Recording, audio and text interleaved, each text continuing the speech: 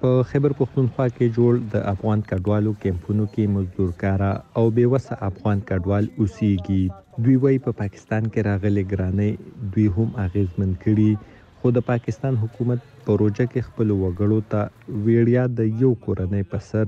درې د لسو کیلو د وړو ګوتۍ ورکوي، خو چې کله هم دوی دغه وېړیا د وړو تقسیم ځایونو ته ورشي، دوی تې خالي لاسونه راځي. مخکې به مې تروړه په ورځ کې ګټله، لکه کار روزګار مې ښه و، اوس چې درې ورځې کار وکړم یو تروړه ګټم، په دې کې د چیو به څه کوم، د غوړو، د ډاکټر، د بیمار به څه کوم، دا موږ نور بلکل داسې یو چې څه وکړو څه ونه کړو، ملک همالته وران پروت دی، دلته روږ ول، دلته راباندې دا سختي ده. په پاکستان کې په روژه کې ویړیا وړه هغه کورنو ته ورکړل کیږي چې د بې نظیر انکم سپورټ پروګرام کې اندراج شوی. افغان کډوال وایي دوی د ځي خلکو نه زیات د غربت ښکار دي، بې روزګارۍ او ګرانۍ ځپلي او دغه ویړیا وړو ته دوی هم اړتیا لري.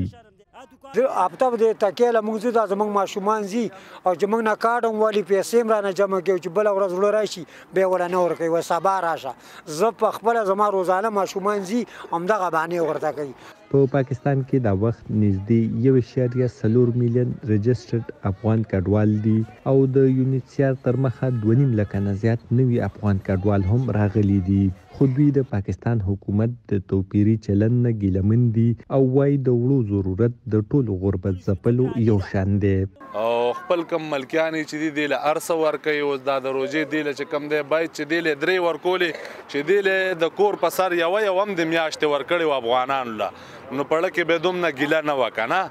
ځکه چې د دې پاکستانو خو خپل ملک دی د دې کارونه هم شته دی روزګارونه هم شته دی او دا خو افغانان دي دې غریبانان خو نه کار نه روزګار کنه ټول څوک د کباړ کار کوي څوک پولې خرڅوي څوک څه کوي څوک څه کوي دی د کلي حالات دي وروره کوڅو ته وګورئ خټې دي د ګرځېدو د اوسېدو څه شان پکې نشته دی